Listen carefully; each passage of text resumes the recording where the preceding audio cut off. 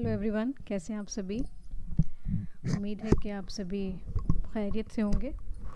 You know जब भी मैं अगले, अभी अपने अगले टॉपिक के लिए जब मैं सर्च कर रही थी तो एक बहुत ही अच्छी कुछ लाइंस मुझे टीचिंग से रिलेटेड मिली हैं। तो आपके सामने मैं लेकर आई हूँ उनको। Teaching you laugh sorry you laugh you cry and you work harder than you ever thought you could. Some days you are trying to change the world, and some days you are just trying to make it through the day.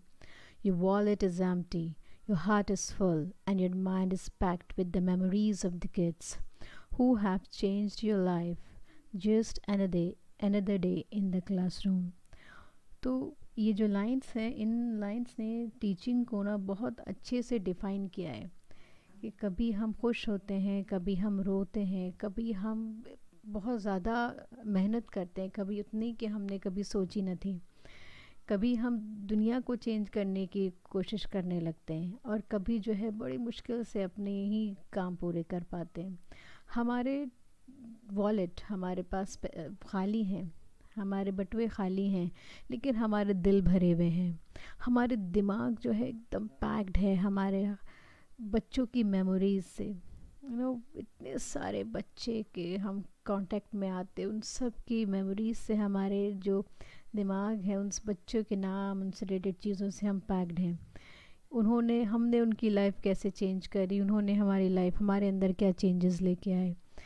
तो यही सारी चीज़ें हैं जिसको बहुत अच्छे से इन लाइन्स ने टीचिंग को टीचिंग जैसे टीचिंग प्रोफेशन को डिफ़ाइन किया है।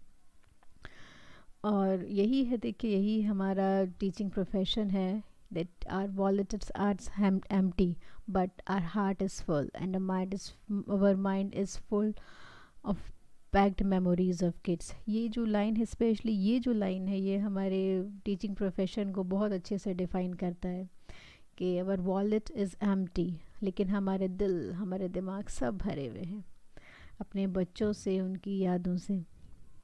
तो चलिए फिर आज का टॉपिक स्टार्ट करते हैं।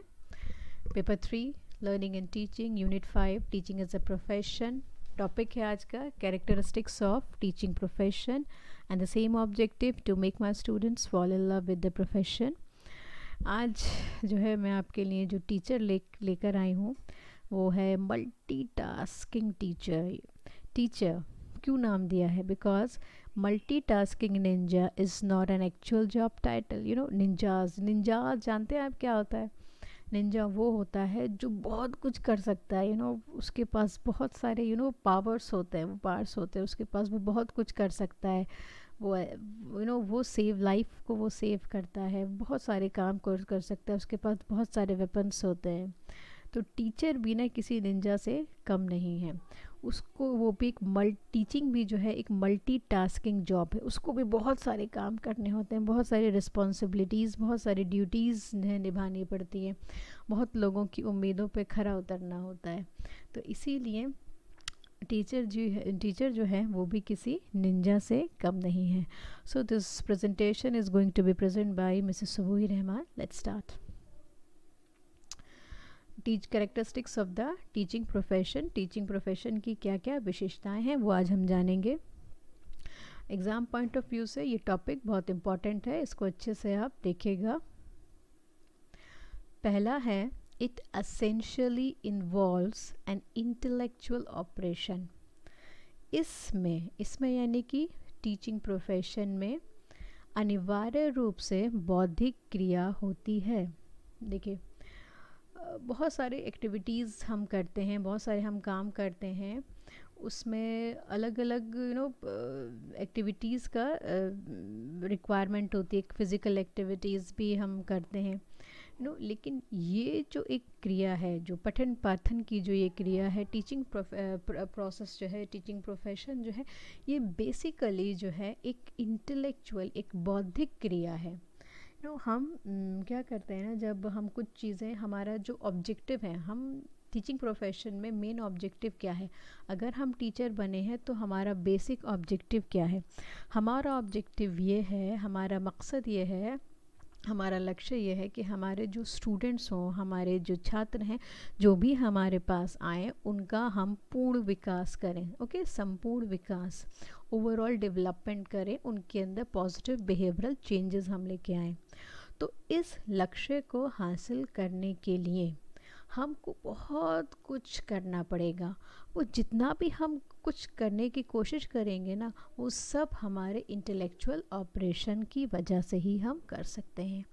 हम चीज़ों को प्लान करेंगे, तैयारी करेंगे यू नो उन तैयारी करने के बाद हम खुद पढ़ेंगे, खुद समझेंगे, चीज़ें प्लान आउट करेंगे और फिर उस चीज़ को हम अमली जामा पहनाएँगे। बच्चों को समझाने की अलग अलग एक्टिविटीज़ अलग अलग तरीक़ों से बच्चों को समझाने की कोशिश करेंगे। तो ये जो टीचिंग प्रोफेशन है, ये बेसिकली इंटेलेक्चुअल ऑपरेशन है, एक बौद्धिक क्रिया है।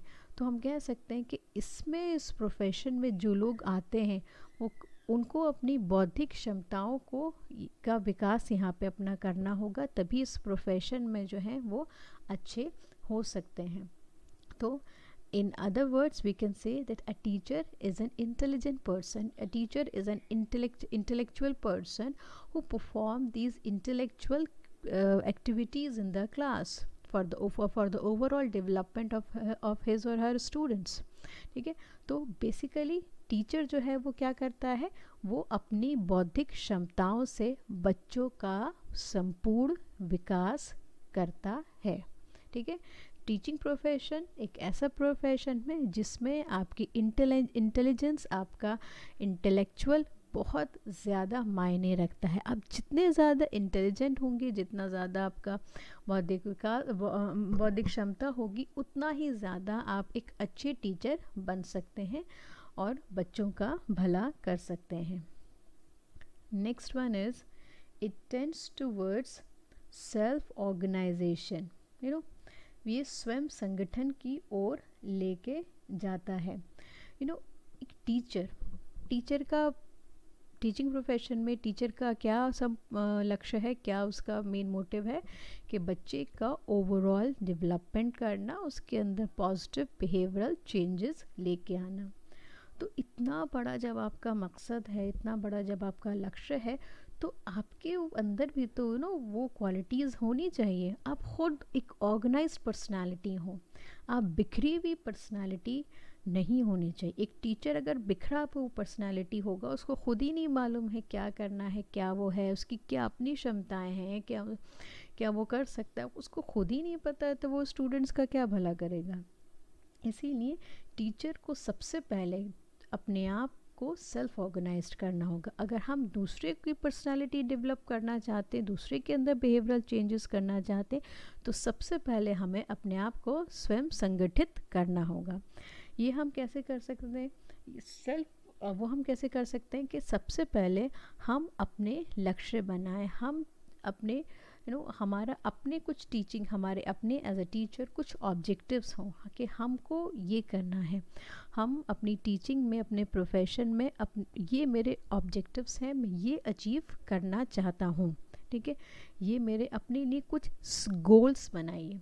फिर उन गोल्स के ऊपर अपना वर्क करिए, फिर कि फिर उसके बाद अपनी परफॉर्मेंस को, अपने को जो है ऑब्जेक्टिवली रिव्यू करिए कि किस हद तक मैं अपने इन गोल्स को जो है मैं अचीव कर पाया। कितना मुझे और मेहनत करने की ज़रूरत है। तो आपको अब क्या आपको अपने आप से चाहिए? क्या आप के, आप अपने आप को किस तरह से आंकते हैं? एज अ टीचर आप अपने आप को कितना रेट करते हैं? You know as a teacher आप अपने आप को कितने अंक देंगे? आप अपनी टीचिंग को, अपने पढ़ाने को आप कितने अंक देंगे कितने ग्रेड देंगे?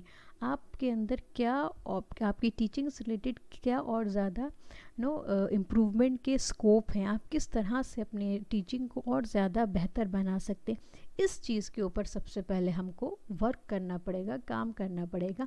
तभी अपने आप को जो है सेल्फ ऑर्गेनाइज अपने आप को ऑर्गेनाइज करना पड़ेगा, अपने आप को संगठित करना पड़ेगा। तभी हम अपना जो रिस्पॉन्सिबिलिटी है हमारे ऊपर, जो जो रिस्पॉन्सिबिलिटी है बच्चे का ओवरऑल डेवलपमेंट की, उनके अंदर बिहेवियरल चेंजेस लाने की नेशन बिल्डर बनने की, तभी हम इतनी बड़ी रिस्पॉन्सिबिलिटी को उठा सकते हैं। Otherwise, we cannot do this. Next one is, it basically performs a social service. You know, ये मूल रूप से एक समाज सेवा है।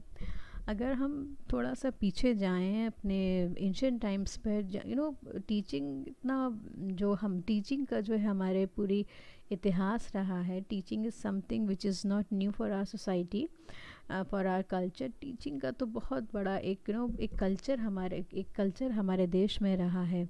नो गुरुकुल्स में, गुरुओं का, गुरुकुल का और किस तरह से। तो वो सब उस वक्त जो है, क्या कहा जाता था, क्या क्या समझाता था? एंशियन टाइम्स में जब गुरु और गुरुकुल्स हुआ करते थे कि कि ये जो है एक सोशल सर्विस है, जो बहुत ज्ञानी लोग हुआ करते थे, वो एज अ सोशल सर्विस जो है समाज की सेवा के तौर पर वो अपना टीचिंग का काम किया करते थे, वो लोगों को पढ़ाने का यू नो ज्ञान देने का इग्नोरेंस से दूर करने का काम किया करते थे। तो यहाँ पर यही बात की जा रही है कि उस टीचिंग जो है एक प्रोफेशन बन चुका है। Okay okay? ये एक एक पेड ऑक्यूपेशन बन चुका है, जहाँ पर आपको कुछ रिक्वायरमेंट्स हैं, जहाँ पर आपको पेमेंट किया जा रहा है। एक प्रोफेशन टीचिंग के साथ एक प्रोफेशन का वर्ड ऐड हो चुका है। लेकिन इसकी जो आत्मा है ओके okay, इसने ऊपरी तौर पे हम कहें कि ऊपरी तौर पे इसने एक जामा पहन लिया है प्रोफेशन का लेकिन जो उसकी आत्मा है जो इसकी रूह है वो अभी भी सोशल है। ये अभी भी हम कह सकते हैं कि जो टीचिंग है जो ये टीचिंग जो हमारे काम जो हम कर रहे हैं ये बेसिकली हम सोशल सर्विस कर रहे हैं। अपने इंटरेस्ट को अपने सेल्फ इंटरेस्ट को हम दूर करके हम दूसरे का दूसरे को बेहतर बनाने की कोशिश कर नो, आप देखे होंगे, टीचर के, टीचर वहीं का वहीं रह जाता है स्कूल में और बच्चे जो है बड़े बड़े बन जाते हैं। दूर दूर जगह चले जाते हैं अच्छे अच्छे काम करने लगते हैं, खूब पैसा कमाने लगते हैं, खूब अच्छी अच्छी लाइफ स्टाइल में लोग जीने लगते हैं और टीचर वैसा ही रहता है। ओके? तो अपने सेल्फ इंटरेस्ट को टीचर जो को जो है, वो पीछे रख के लोगों की भलाई का काम करता है। उनको ज्ञान देता है और उनकी ज़िंदगियों को बेहतर से बेहतर बनाने की कोशिश करता है। Fourth one is, it has a high degree of autonomy. Autonomy means self rule और autonomy is means free from any form of intervention. इस, हिंदी में इसका मतलब है, इसमें उच्च स्तर की स्वतंत्रता होती है। ठीक है? ऑटोनोमी का जैसा भी मैंने बतलाया कि ये इसमें कि किसी भी तरह का इंटरवेंशन नहीं होता है, कोई इसमें दखल अंदाजी नहीं होता है। आप जो है अपनी क्लास के, आप जो भी आप पढ़ा रहे हैं, जो भी आप क्लास ले रहे हैं, आप उसके जो है किंग हैं क्वीन हैं, आप जो चाहें कर सकते हैं, आप जैसी चीज़ें आप प्लान कर सकते हैं, आप जिस तरह से पढ़ाना चाहें आप पढ़ा सकते हैं। आप देखिए किंग जो होता है ना king self rule autonomy you know free from any इंडमेशन king का जब मैंने आपको वर्ड दे दिया है, एक टाइटल दे दिया किंग का टाइटल दे दिया क्वीन का टाइटल दे दिया अब अच्छा राजा, दो तरह के लोग, एक दो तरह के राजा होते हैं, एक अच्छा होता है, एक बुरा होता है। बुरा राजा वो होता है जो अपनी प्रजा का ख्याल नहीं करता है और अपने ही इंटरेस्ट को ज़्यादा वो प्रमोट करता है। और एक अच्छा राजा वो होता है जो अपने प्रजा का ख्याल रखता है और अपने इंटरेस्ट को पीछे रख के अपने प्रजा के, अपने लोगों के इंटरेस्ट को ज़्यादा महत्व देता है। तो आपको भी अगर एक अच्छा टीचर बन अच्छा राजा बनना है अच्छा टीचर बनना है, अपने इस ऑटोनॉमी की ये जो आपके पास सेल्फ रूल है, ये जो ये जो आपके पास इख्तियार है, ये जो है आपका एक जो राइट है, इसको जो है अब आपके आपके हाथ में है, आपके ऊपर डिपेंड करता है कि आपको, कि आप इसको किस तरह से लेते हैं। आप गलत तरीके से लेके एक बुरा राजा, एक बुरा टीचर बनेंगे या आप इसको सही तरीके से लेके एक अच्छा राजा, एक अच्छा टीचर बनेंगे और अपने स्टूडेंट्स का भला करेंगे। देखिए, आप आप चाहें यू नो जो चाहें आप, जैसे चाहें आप कर सकते हैं। लेकिन ये ज़रूरी है कि आप जो भी करें whatever you do in the class it should be for the benefit for the benefit of your students जैसे कि मैंने आप लोगों को पढ़ाया था क्लासरूम डिस्कोर्स में कि लेक्चर जो होता है it is the least preferable uh, लेकिन सबसे अच्छा कौन सा होता है? डिस्कशन जहाँ पर बच्चों का और टीचर का दोनों का इन्वॉल्वमेंट होता है। सिर्फ़ आप ही आप बोले चले जाएँगे तो बच्चे का कोई इंटरवेंशन नहीं होगा बच्चे का कुछ भी नहीं उसका पार्टिसिपेशन होगा।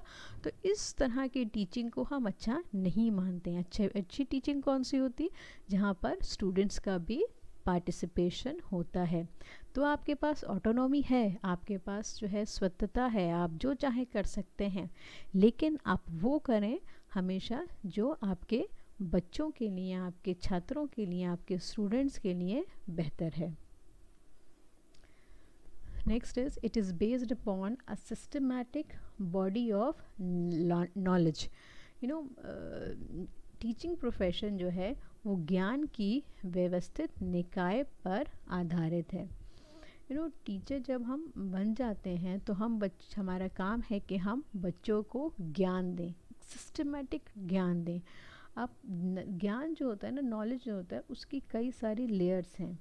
सोशल है पॉलिटिकल है हिस्टोरिकल है साइकोलॉजिकल है इकोनॉमिक है कल्चरल है एंड रिलीजियस है।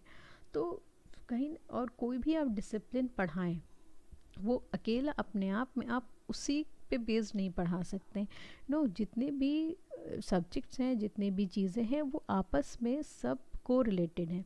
इसीलिए अभी जब आप अपने मेथड्स के बारे में पढ़ेंगे तो उन मेथड्स का अपने सॉरी उन सब्जेक्ट का रिलेशन आप दूसरे सब्जेक्ट्स से भी पढ़ेंगे।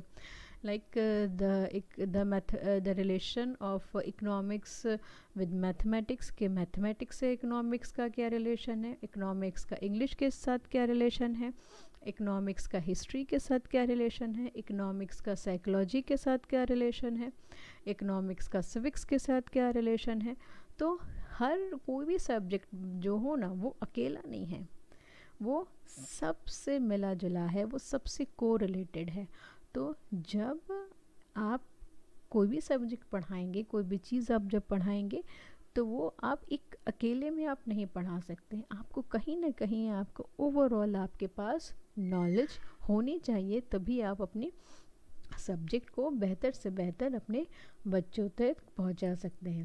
You know teaching as a profession is based upon the systematic body of knowledge emanated from different spheres of human life and activities हम जो भी काम करते हैं, जिस भी चीज़ों में हम इन्वॉल्व हैं, उन सभी चीज़ों के बेसिस पर, अपनी नॉलेज अपने एक्सपीरियंसेस के बेसिस पर हम बच्चों को ज्ञान देते हैं। तो हमारे लिए ज़रूरी है कि हमारे आँख, नाक, कान हमेशा हमारे जो इस फाइव सेंसेस हैं, वो हमेशा खुले रहें, ताकि हमारे पास एक जो नॉलेज है, वो एक कंप्लीट नॉलेज आए और जो भी हम अपने बच्चों को नॉलेज दें, वो एक ऑब्जेक्टिव नॉलेज हो। हमारी अपनी बायसनेस हमारी अपनी पर्सनल टेंडेंसी जो है, उसमें शामिल नहीं होनी चाहिए। अगर हम किसी चीज़ को किसी भी रिलीजियस ग्रुप को फॉलो के, को फॉलो के मानने वाले हैं, किसी भी एक आइडियोलॉजी के मानने वाले हैं ओके वो चीज़ हमारे पढ़ाने में नज़र नहीं आनी चाहिए, ठीक है? We should be neutral we should be objective while teaching तो आज हम इतना ही रखते हैं। पाँच characteristics of the teaching profession in the next class will take on the other five thank you so much